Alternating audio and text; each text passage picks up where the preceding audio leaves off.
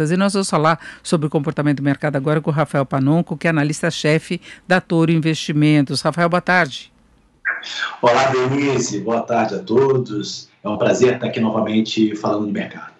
Bom, Rafael, pelo menos por enquanto o mercado financeiro não está aceitando essa ideia de que não haverá interferência nos preços, que se tenta apenas manter um equilíbrio. A gente tem a Bolsa de Valores em queda de 4,33%, as ações da Petrobras com queda de mais de 20%, queda também de outras ações de estatais pelo receio de outras interferências. Ficou no ar aquela questão de energia, né, que o presidente não disse ainda o que poderá acontecer.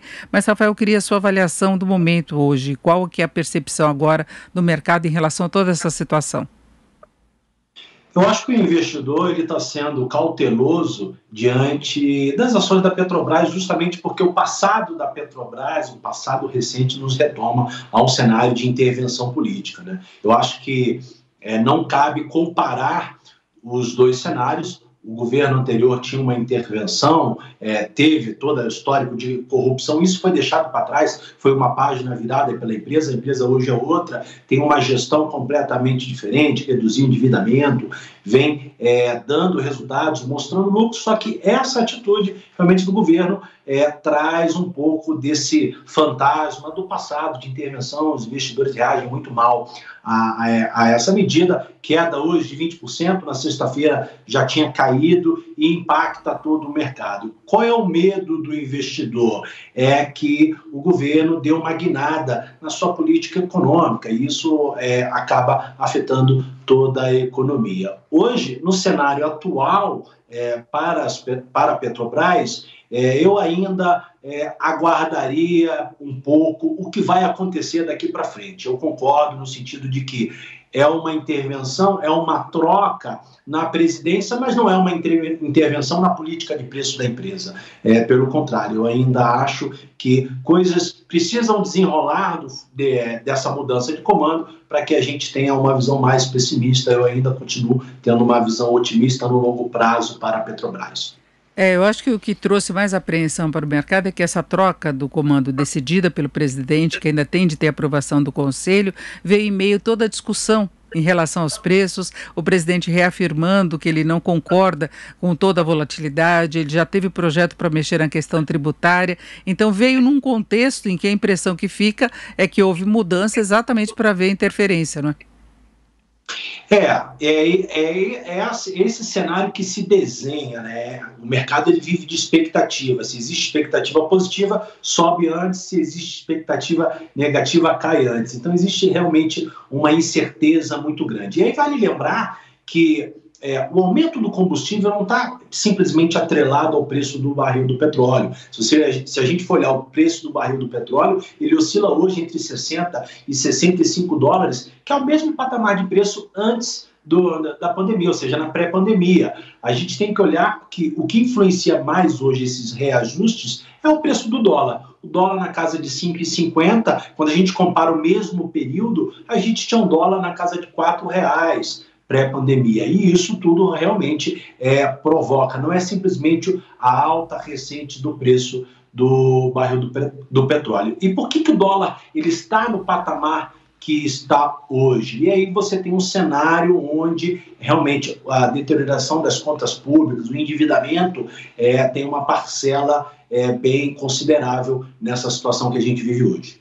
É, então, uma acomodação do dólar também dependeria de ações do governo, né, no sentido de mostrar maior responsabilidade fiscal. E lembrando que hoje o dólar já bateu na faixa dos 5,52, agora diminui um pouquinho a alta, sobe 1,38, a cotação de venda está em R$ 5,46, mas tudo que traz instabilidade e incerteza em relação à economia acaba tendo reflexos também no dólar, né?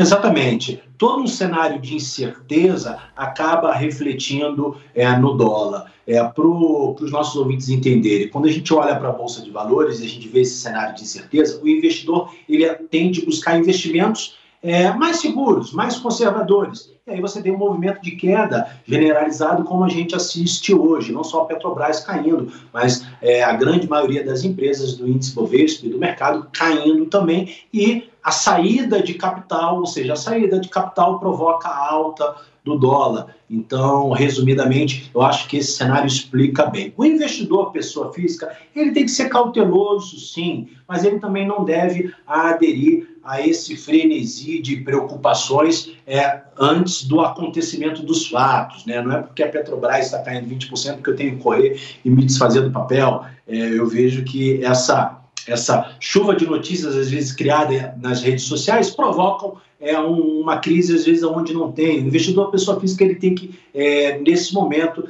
é, ter um pouco de cautela, ser mais tranquilo e não sair se desfazendo é, da, das ações da sua carteira. E, por outro lado, é, qual é a hora de comprar? Será que está na hora de comprar? Caiu 20%? Está barato? Não está barato? Eu também chamo a atenção para ter cautela. Não pode sair comprando, é, o, é, disponibilizar o capital para compra todo num dia só porque caiu 20% hoje, porque ela pode continuar caindo nos próximos dias, no desenrolar é, dessa história. Então, eu acho que a palavra cautela resume bastante é, o que o investidor pessoa física tem que ter no momento. É, a gente viu que desde ontem as ordens eram de venda das ações, exatamente por não se contar com uma, uma definição de cenário aí no curtíssimo prazo.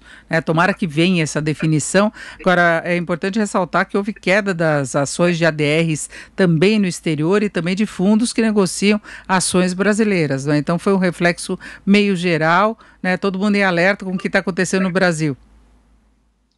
Exato, eu acho que é um reflexo não só nas ações de Petrobras, mas todos os investidores, não só é, investidores domésticos, mas no mundo afora, olham é, esse tipo de atitude do governo com um sinal de alerta. Né? Ou seja, será que o governo, que antes tinha um discurso de privatizações, um discurso mais liberal, está virando a direção para ser um governo mais populista, isso ainda é uma, uma incógnita, não dá para a gente afirmar. Mas diante desse sinal de alerta, muitos investidores acabam reduzindo suas posições no Brasil e alocando em outros mercados. Então você vai ver a, as ADRs lá fora caindo, não só de Petrobras, mas de outras grandes empresas brasileiras também é, acabam entrando um pouco nesse reflexo de queda dos mercados. Perfeito, ouvimos o Rafael Panonco, que é analista-chefe da Toro Investimentos. Rafael, muito obrigada. Uma boa tarde. Uma boa tarde, eu que agradeço.